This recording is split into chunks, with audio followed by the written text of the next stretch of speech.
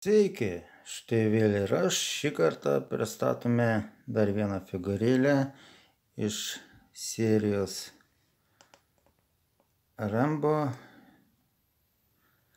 Tai šį kartą pristatysime iš pirmosios dalies filmo, e, kuri pasivadina Rambo First Blood, o lietuviškai Rambo pirmasis kraujas.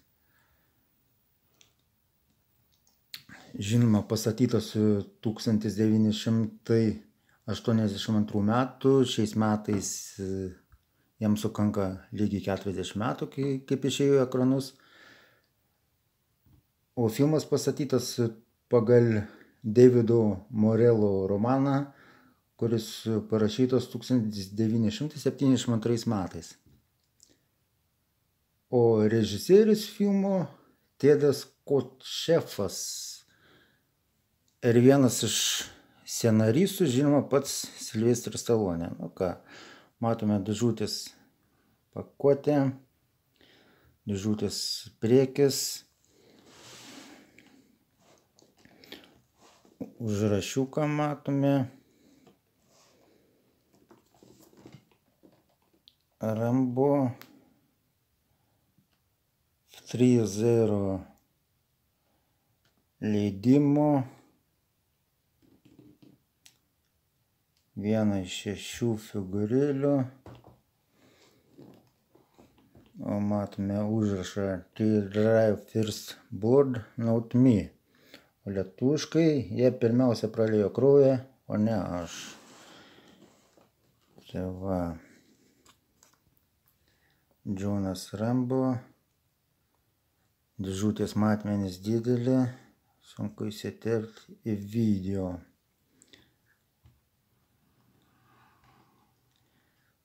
Vienam šone matome ginklą, kulkosėdę Rambo, John Rambo.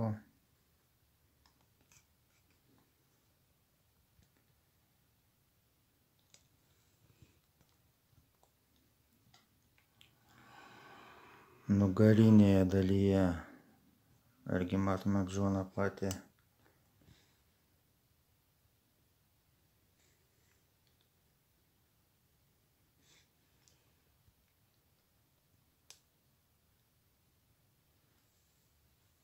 ir su užrašu You don't menite the token, iemnite kingte in the mountains. Ką reiškia, tu dominuoji mieste, aš esu karalius kalnuose. Tai va.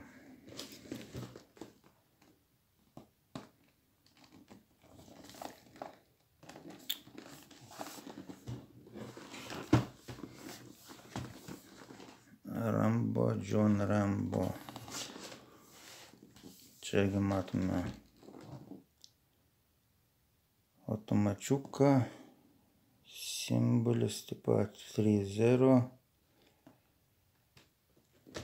gamintojo. O šį kartą su lipučkiam. Taigi Štai matome pati figūrėlė. Džonas Rambo. Matome rankų plaštakos. Keičiamas trijų rušių. Ginklų arsenalas matosi neblogas. Džonas Rambo. Užrašiukas stop here or else your time in double var. Ką reikštų, sustok čia arba aš tau parodysiu netikėtiną karą. Tai va. Kągi, eikime įsipakuokime ir pristatysime iš arčiau patį Džoną Rambo. Taigi, įsipakavome figūrėlę matome tikrai identiškas Silvestras Salonė. ką noriu pasakyti apie figūrėlę pačią. Figūrėlės aukštis 30 cm. Šis gerai gaminta.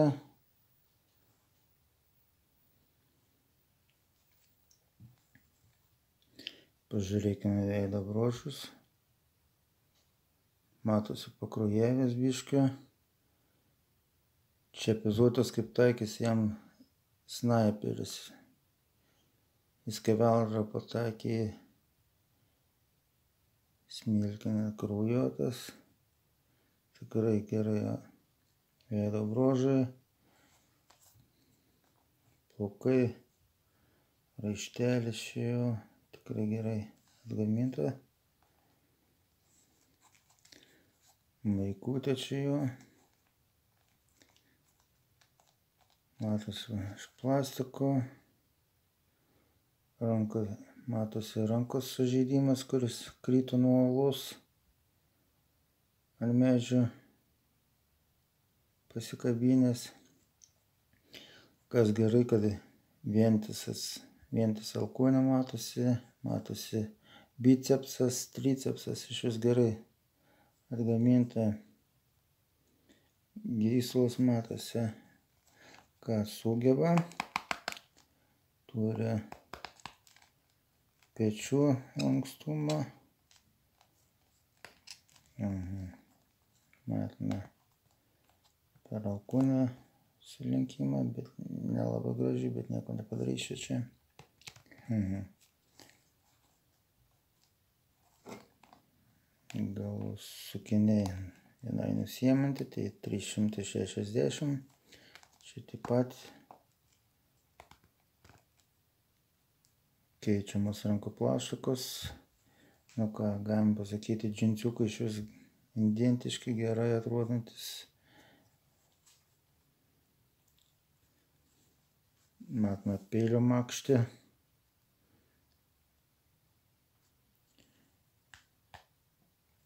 O kišenytis ir dėžiukas pats iš vis. Turi per sąnarius, kelio lankstumą. Hmm.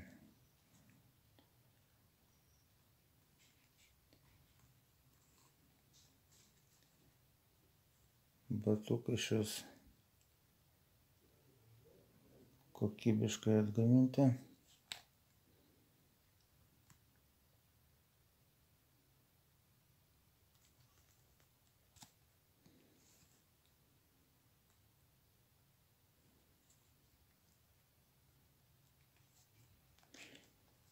ką duočiau, 10 iš 10 tikrai duočiau. Na ką, prieikime, ką jis turi aksesuarų, bei ką turi iš arsenalo. Matome turintis instrukciją, kaip kas, kas įveina čia, kaip apvilkti, kaip užvilkti, kaip prišti jo vadimą brizantą, kuris buvo suradęs. Matome ginkliukai, arsenalas.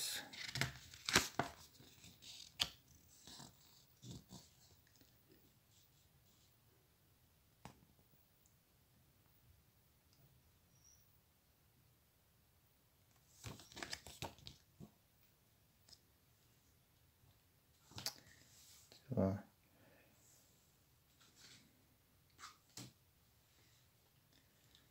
Vienas iš pagrindų tai jo asmeninis peilis rembaškas. Čia atsisuka.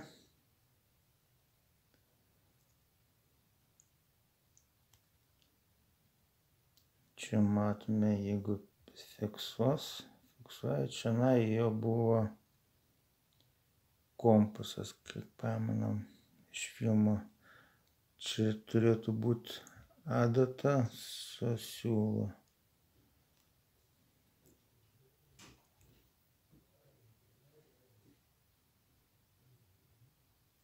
Dar žinoma, matome šitą, kaip jis suradęs vadinamą brezentą, bet čia padarytas grinai iš medžiagos.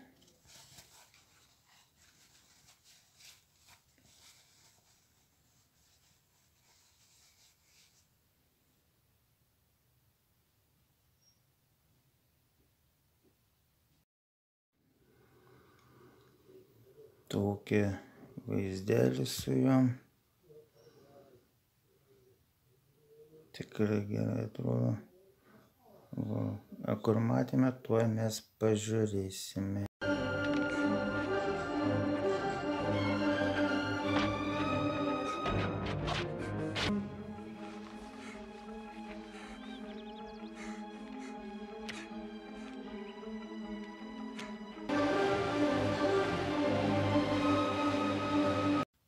Pristatome vieną iš aksesuarų tame filme.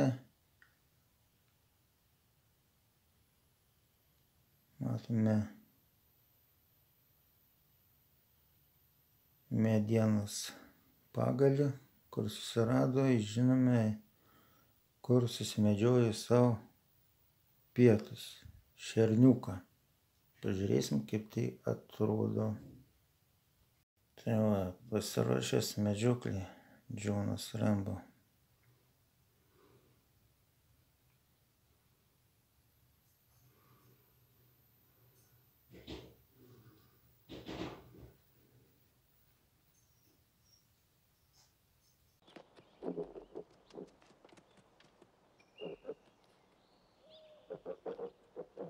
Kągi vieną apibendrinsim iš arsenalo. Tai ginklas M16. Puikiai atgamintas.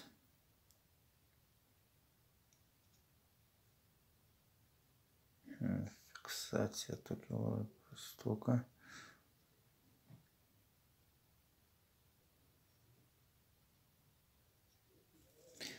Tai va. O, čia biškai geriau.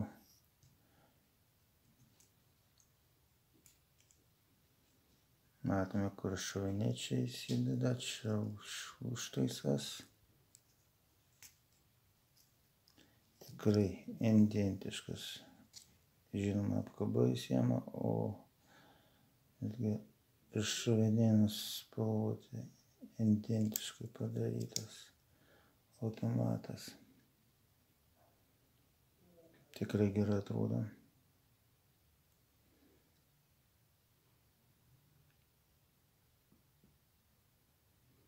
Truputėlį popa buvo, nulūžo, bet nieko sutvarkysim, pasižiūrėsim, kas šį nutiko.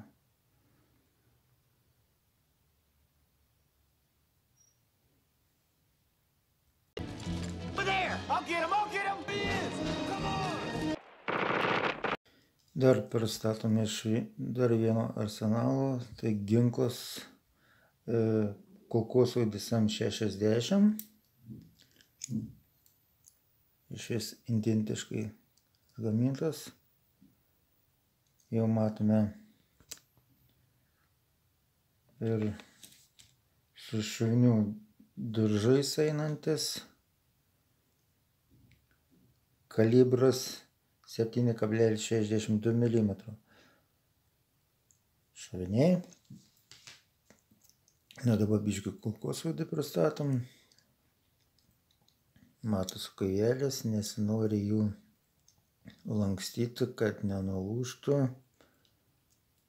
Dėl viso pikto matosi taikiklis.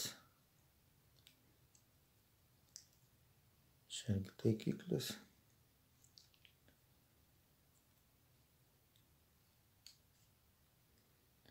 Matosi diržas, kur įsideda, pasikelia.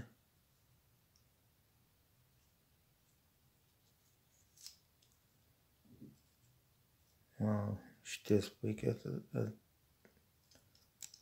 toks kaip ir metaliukas, ne metaliukas, bet tik tai grinai plasmasinis.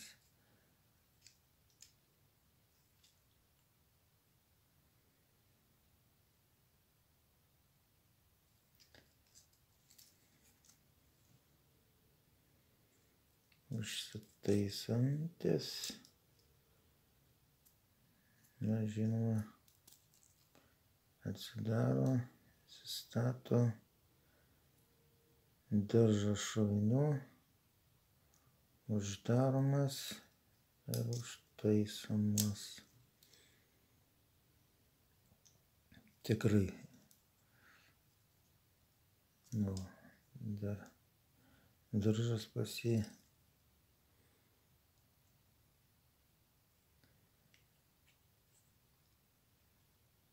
Medžiaginis, bet tikrai labai gerai atrodantis. Va, siena, čia pats rambas su kulkosvaidžiu.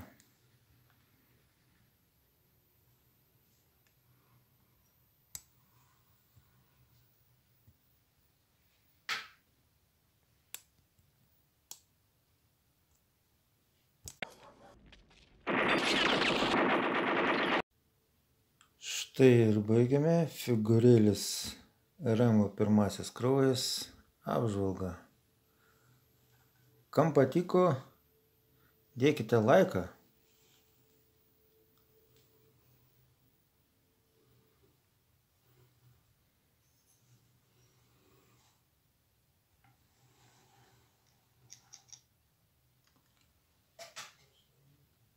Iki sekant.